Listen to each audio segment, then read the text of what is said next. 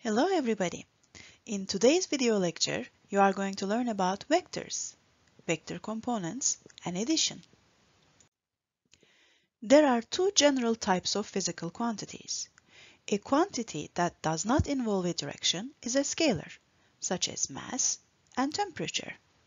A vector is a quantity that involves both magnitude and direction, such as force and velocity.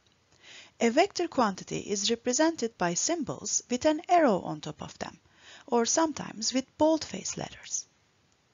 You can represent vectors by drawing them. In fact, this is very useful conceptually. When a vector is represented graphically, its magnitude is represented by the length of an arrow and its direction is represented by the direction of the arrow. Can you tell which drawing represents the vector A? I'll go with the black one because it seemed to have four units to it to show the magnitude and it is pointing in the northern direction as given. How about vector B? I thought so. The component of a vector is the influence of that vector in a given direction. Take a look at this blue ball. Say you kick it in the direction shown. What do you expect it to do? Move in the positive y direction. Why? Because the force only acts in the positive y direction, so it has some influence in the y direction and no influence in the x direction. Let's measure the force vector using our Newton scale. Its magnitude is 4 Newton. We can represent our vector by its coordinates like this. And notice that we also have its x and y components. How about now? Our vector has a magnitude of 3 newtons and only has influence in the positive x direction. Vector components allow us to break a single vector quantity into two scalar quantities with which we have more mathematical experience. So its x component is 3 and y component is 0. Please note that these components are scalars and can have positive or negative values based on your coordinate axis. Now this time our force has influence on both axes. Checking against our Newton scale, we can see that x component of vector c, or cx, is 3 newtons, and y component cy is 4 newtons. But how about the magnitude of the vector c? Is it 3 plus 4, 7? Doesn't look like this. Here is a right triangle. So we can calculate the magnitude of vector c using the Pythagorean equation. So the magnitude is 5 newtons. And finally, we can calculate its direction using the inverse tangent function as you can see. At the end, we can represent vector c as 5 Newton at an angle of 53 degrees. Let's resolve vector A into components. 5 meter at 53 degrees. I remember this vector from somewhere. Earlier, we had vector components and found the vector's magnitude and direction. Now it is the reverse. Okay, first thing to do is place your vector onto a coordinate axis so that its tail rests on the origin. Then draw two parallel lines to the x and y axis to form a rectangle in such a way that your vector forms a diagonal. Now mark the vector components. We have two identical pairs here, but the components are the ones that start from the origin. Please make sure components are not drawn too short or too long, but just right. Drawing the vector components like this is okay for your math class, but it is not acceptable for physics for reasons we'll discuss later. Please mark the vector components correctly. Finally, calculate the scalar components using the right triangles and trig. I see a right triangle here.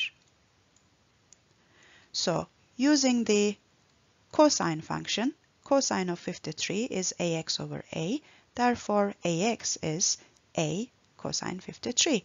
It gives me 3 meters. Now I need to find a y, but I know that these two sides of the rectangle are identical. Therefore, I am going to use this side here, and I can use the sine function. Sine 53 is ay over a, therefore ay is a times sine 53, and it gives me 4 meters as expected. And here are my scalar components. There are several methods for adding vectors. The first one is called the tip-to-tail method. Simply place the tail of one vector at the tip of the other, then connect the exposed tail to the exposed tip, as such. The vector formed is the sum of the first two, or resultant. As you can see, adding A to B or B to A makes no difference. A vector can be multiplied by a scalar, that's a number, and the result is a vector.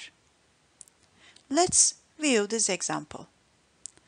Let A be 2 meters to the north, and let's multiply A with 2. 2 times A is 2 meters to the north times 2 makes 4 meters to the north. What if I multiply a with a negative number like negative 2? Negative 2a, however, is 4 meters to the south instead of north. This means if we multiply a vector with a negative number, then the direction will reverse. To subtract a vector b from vector a, simply form the vector negative b. Then add it to a. Here is an example. First, we are going to keep the vector a as is, then form the vector negative b, like so, the same magnitude, opposite direction. Then put them tip to tail, and voila, here is your a minus b vector. Let's add these vectors together, a, b, and c.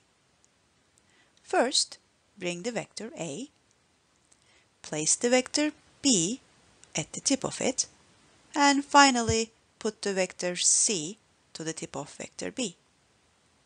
Connect the exposed tail to the exposed tip to get the resultant or the sum. But what are the chances that we can draw this accurately and then measure the resultant correctly? Not very good. Therefore, there must be a better way of adding these vectors together, which is using scalar components. Let's find the scalar components of all vectors. We already did this for vector A. Now, Vector b has only a vertical direction. This means its horizontal component would be 0, as you can see here. The vector c is pointing along the west and south directions, which is along the negative side of the coordinate axis. So, the scalar components must be negative. Now we are going to add all the horizontal components together and we will call it the horizontal component of the resultant. We can show the same thing as a vector addition. So here's a vector for ax. Bx is 0 and here is cx added to it. And here is the sum of all horizontal components.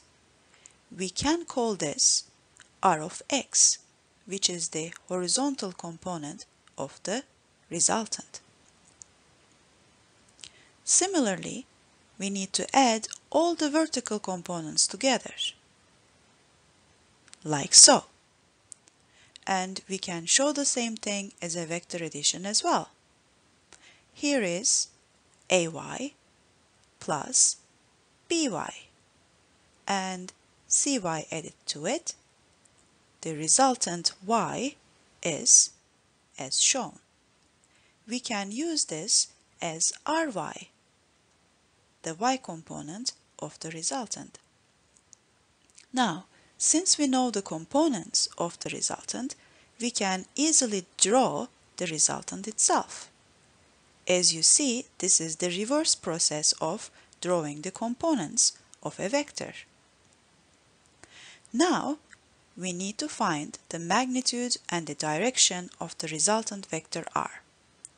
So let's mark the direction with an angle. Using the inverse tangent function, we can calculate the angle. And using the Pythagorean theorem, we can calculate the magnitude.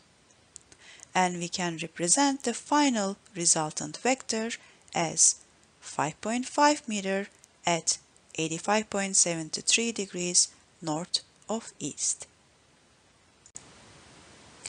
Here is a step-by-step -step guide to adding vectors using scalar components. Thank you for listening.